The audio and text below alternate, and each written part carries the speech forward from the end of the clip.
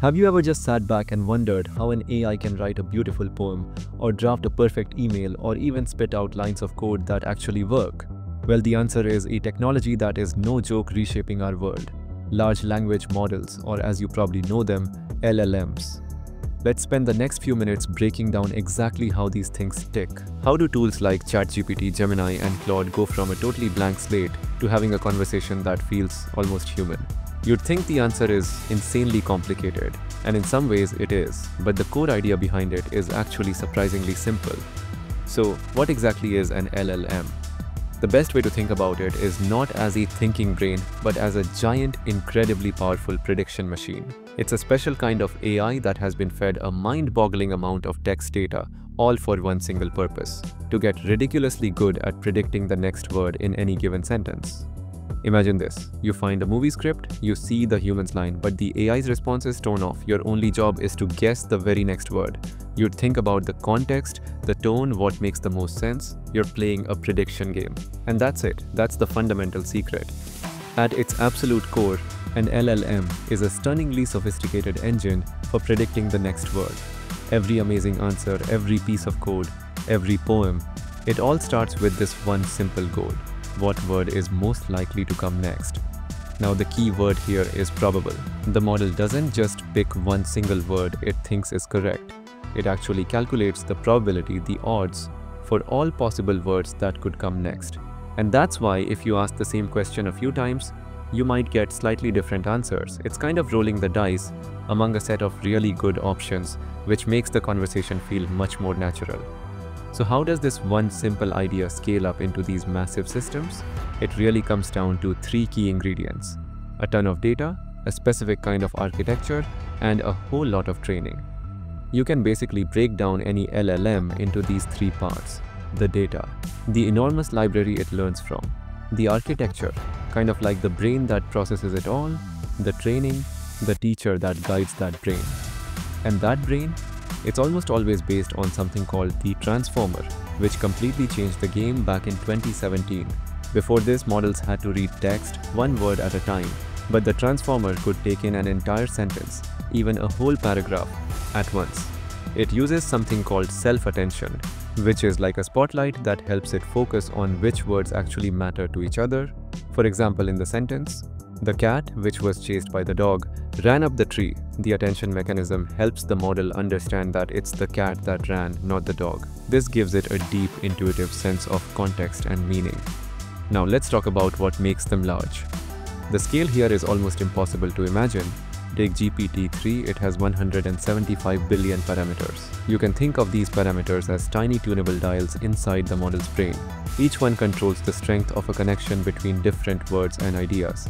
As it trains, the model learns to adjust all 175 billion of them to capture the complex patterns of human language. And the data? If a person sat down and tried to read everything GPT-3 trained on, 24 hours a day, 7 days a week, it would take over 2500 years. And if you try to do the math by hand, even at a billion calculations per second, it would take over 100 million years to finish the training.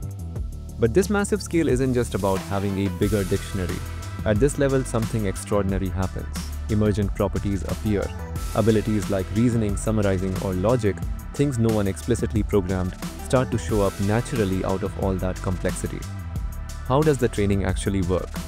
It all boils down to a super simple game of guess and check, just played trillions of times.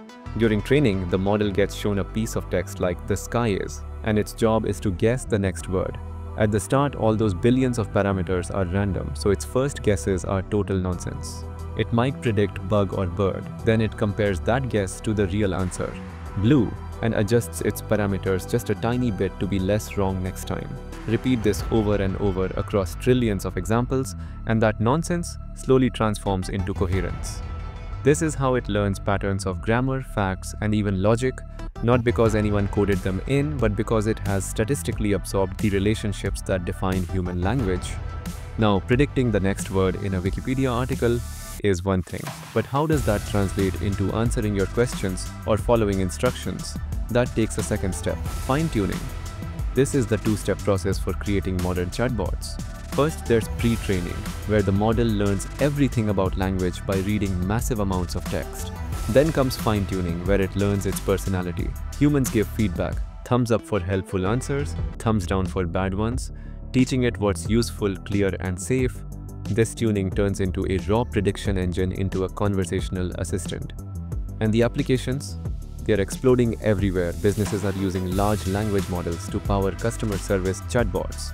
Individuals use them as writing and coding assistants. They're helping programmers debug faster, professionals summarize reports, and creators write scripts. You can even fine-tune a general model for a specific field. Feed it legal documents and you can create an expert assistant for lawyers. Train it on medical journals and you've got a tool that can help doctors research conditions. It's the same base model, just adapted to specialized knowledge. But as powerful as they are, we've got to stay realistic. These systems aren't perfect. LLMs can hallucinate, confidently generating things that sound true but aren't. And since they're trained on massive datasets pulled from the internet, they also pick up biases and misinformation.